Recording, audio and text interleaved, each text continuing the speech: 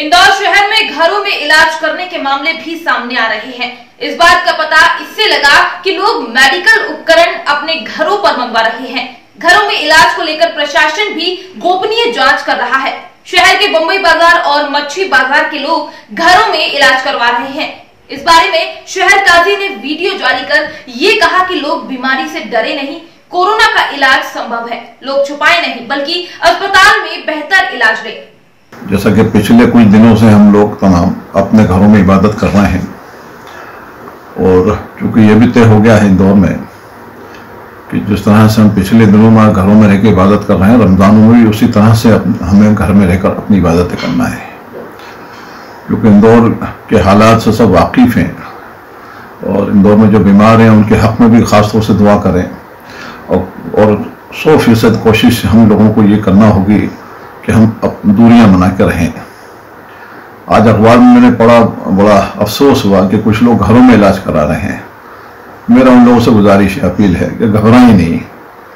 ये बीमारी जो है, इसमें काफ़ी हद तक इसका इलाज है और इंसान ठीक होता है। और इंदौर में भी देखें, अभी कल काफ़ी लोग अस्पतालों से छुट्टी लेकर आ गए हैं। छुट्टी हो गई है, तंदुरुस्त हो गए बीमारी खत्म हो चुकी है।